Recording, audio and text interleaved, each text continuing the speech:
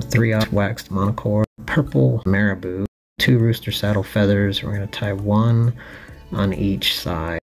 Grab your foam and trim it into a triangle. Grab some purple flashabou and we're going to tie that in. Grab some black rooster saddle, strip the fluff, grab some pearl dubbing, create a dubbing noodle, take our marabou.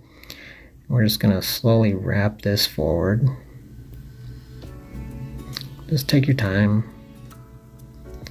Then we'll secure that. Grab your black hackle feather, hackle that forward, making sure to leave a little space so that you can see the purple. Just gonna brush it all out, preen all those fibers down. Grab our foam and we're gonna fold our head back.